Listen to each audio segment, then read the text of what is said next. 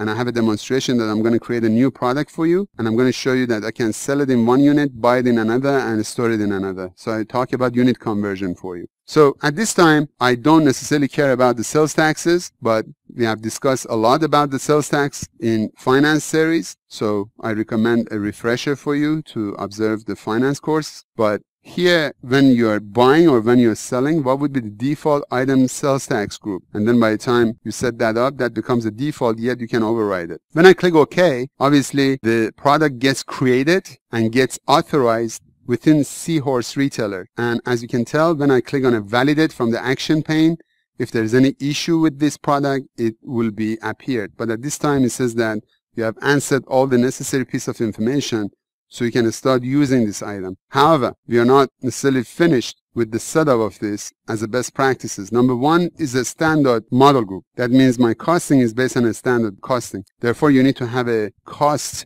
associated with this item and you need to say how much it's going to cost you. Later, I'm going to show you how to set that up. I carry on and I now switch back to the definition and I search for this ebook. And as you see, the definition behind the scene has already been defined for me. So when you do a decentralized way of creating a product, automatically the definition is getting created on the product definition and is shared across all the legal entities immediately. But if you notice on your fact box, you have authorized by company. That means this product is only available in Seahorse retailers and is not available in any other legal entity. So therefore, if you are going to authorize this specific product in other legal entities, there is a button at the top of the action pane called release products. Therefore, you define exactly what legal entities this product can reside on. So in future demonstration, you're about to see that. At the moment, I switch back to release products and I create a few more of my raw materials. So my ebook could come perhaps in a white case. As a best practice, I always recommend strongly to specify the default order setting. And we have a lots of other demonstration coming here. And these are very important policies. And here is a section that you can also dictate how master planning will work and calculate to see how much or how many of this specific product you need to buy. When I say how much, I mean like what's a kilogram or what's the quantity, what's the volume of it. What would be the default site? At this time, I have only one site and assume site one represents the entire North America. If you don't specify any value here, later on when you're using it in other documents such as a purchase order or vendor invoice or whatnot, you need to manually define those information. But when you set these values here, then it gets defaulted. So it's the best practice to set this up, specifically when it comes to bill of material generation. If you don't have a site here, you won't be able to set up the bill of material properly. So I specify the site and there are other tabs that are available in here, which we're going to get into the detail of it in more later on.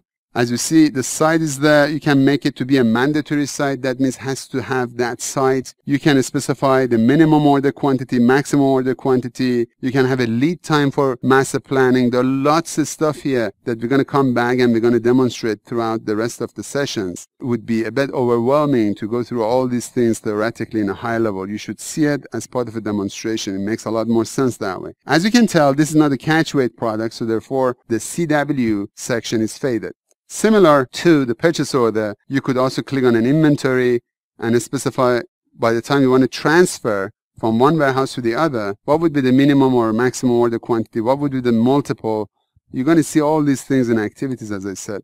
Again, the delivery control will be demonstrated for you. The lead time will be controlled and demonstrated for you. And then finally, the sales order. How many requires to be sold as minimum? Again, these are all default values. You can override them depending on your policies. But this is the first form that we have a lot of talk coming later. I close this form and then one site could have multiple warehouses. Therefore, there's a site, specific order setting. If I open this up, it says, okay, for which site, which warehouse am I going to use as a default? So I use the 100 as a default. Later on, I'm going to use the concept of multiple warehouses to be assigned here. So we start very small and simple and they grow and make it more complicated. Similar behavior if I go back to the purchase order or inventory or sales order, all the information will be inherited from the site, but yet you could override them.